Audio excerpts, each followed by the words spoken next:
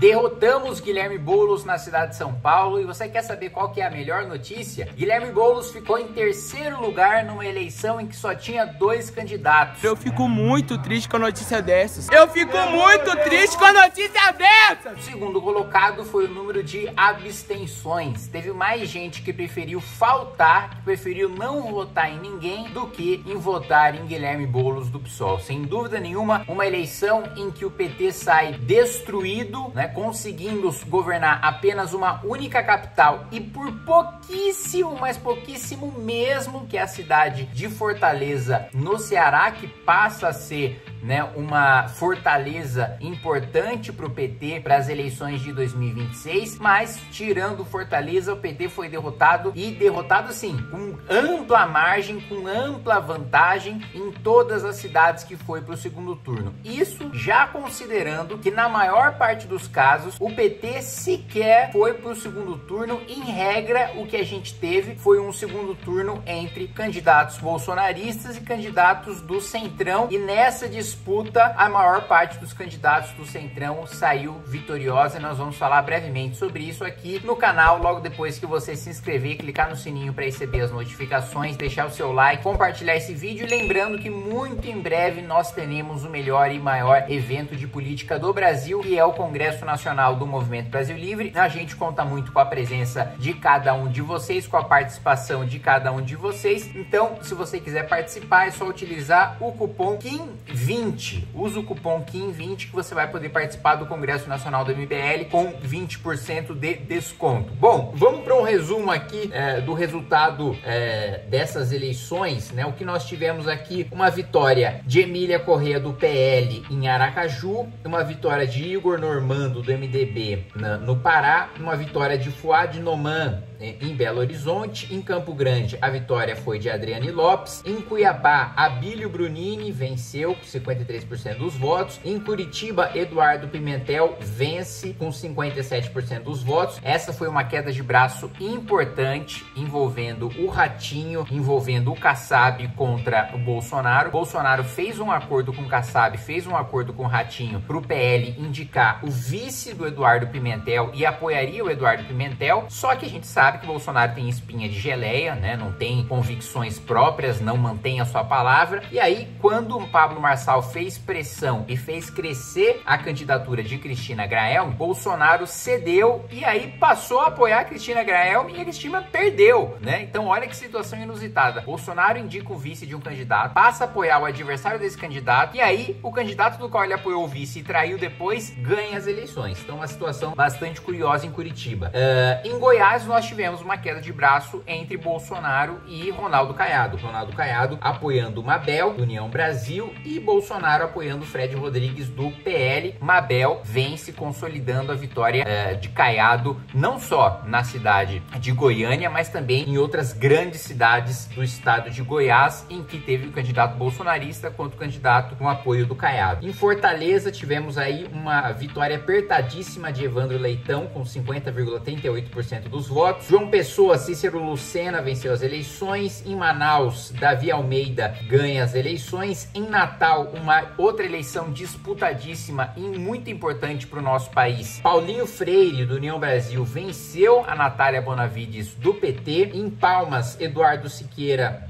vence as eleições. Em Porto Alegre, Sebastião Melo vence também com ampla margem de vantagem. Em Porto Velho, uh, Léo do Podemos vence as eleições. E em São Paulo, Ricardo Nunes vence aí com 59,38% dos votos. Quer saber mais um fato engraçado dessas eleições? A maior Mick Jagger dessas eleições, a maior azara, azarada não, né? Aquela que traz azar para os outros nessas eleições foi justamente a Janja. Veja só essa matéria da Andresa Matais, que diz o seguinte: Na estreia como cabo eleitoral, a primeira-dama Janja da Silva contabilizou derrotas. Nas eleições que se envolveu diretamente nesse segundo turno, seus candidatos perderam a disputa. Em Natal, Janja subiu no palanque e gravou vídeo pedindo para Natália Bonavides que perdeu. Ela disse o seguinte: que votar em Natália Bonavides é escolher uma mulher jovem comprometida para cuidar das famílias. E aí a Natália Bonavides foi lá e foi derrotada. Muito bem, uh, na reta final, Janja também também fez uh, um vídeo atacando o prefeito de São Paulo, dizendo que o prefeito de São Paulo, Ricardo Nunes, desrespeita as mulheres e, portanto, pedindo apoio pro Boulos. Boulos, mais uma vez, toma um cacete de São Paulo. Eu acho que São Paulo deixou um recado bastante claro que nunca, jamais será governada pelo PSOL. Então, Boulos uh, vai voltar lá para a Câmara dos Deputados, vai ter que olhar na minha cara todos os dias, vai ter que me aguentar nas comissões, apesar de que você nem participa muito, né? Nem do plenário, nem das comissões. Você mais utiliza o seu mandato para fazer campanha para prefeitura, mas quem sabe agora você tem entendido o recado que nunca será prefeito de São Paulo, então talvez trabalhe um pouco mais no seu mandato como deputado federal, né? Uh, que mais? Nós tivemos também o apoio do, do, do Janja para Maria do Rosário, numa ligação, né, é, é, em vídeo,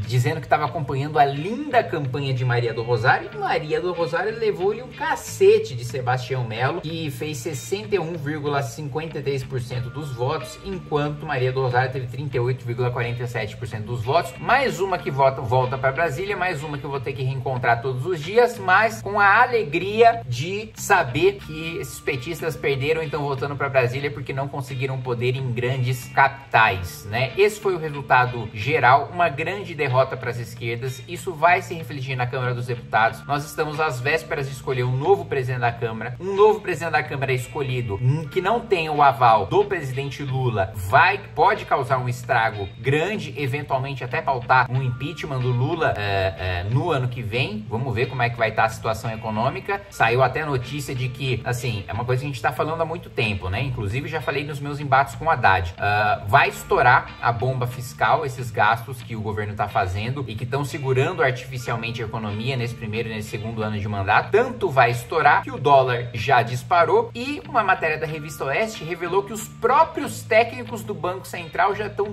dolarizando todo o seu patrimônio justamente por saber que vai estourar, nossa moeda vai perder valor. Então, se você não estiver protegendo o seu patrimônio comprando dólar ali na análise dos técnicos do Banco Central, você vai estar perdendo dinheiro. Análise com a qual eu concordo, porque é exatamente isso que eu faço com o meu próprio patrimônio. É fundo cambial de euro, fundo cambial de dólar, é ações de empresas de tecnologia, Nvidia, AMD, é, de games, né? A Take-Two Interactive eu tenho, tenho da Tencent, sim, é basicamente uma carteira voltada, enxergando todo o rombo e toda a destruição que está sendo feita é, no nosso país. Mas essas eleições municipais nos dão um fôlego, nos dão um horizonte de que qualquer candidato de direita minimamente estruturado para as eleições de 2026 tem todas as condições de tirar Lula da presidência da República.